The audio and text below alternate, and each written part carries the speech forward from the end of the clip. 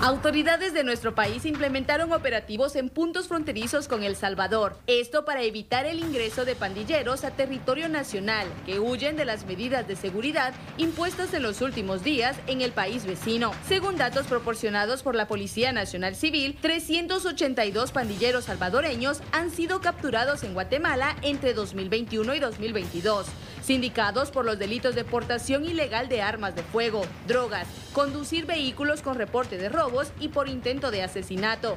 305 de los capturados son miembros de la Mara 18, 76 de la Mara Salvatrucha y uno de los sureños, pandilla que opera en Estados Unidos.